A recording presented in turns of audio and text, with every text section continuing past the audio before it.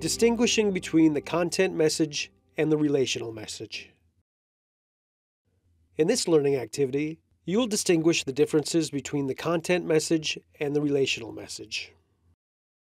Every verbal statement has two dimensions the content message and the relational message. Whenever we speak, we relate a content message and a relational message. Content messages are more obvious because they are the spoken words. Relational messages are less obvious because they usually are nonverbal. The content message refers to the subject matter you are discussing. For example, what are you doing after work today? The relational message refers to the relationship between you and the person you are communicating with and your feelings toward each other. For example, your relationship or feelings for a best friend influence your behavior with that friend.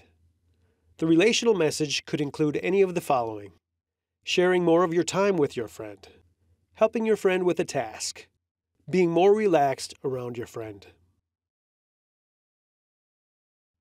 Relational messages deal with social needs such as inclusion, control, affection, and respect.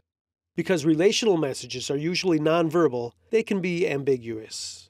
To avoid misunderstanding, relational messages may require verbal checking. Communication problems can occur when communicators fail to check their interpretations or ignore the relational message.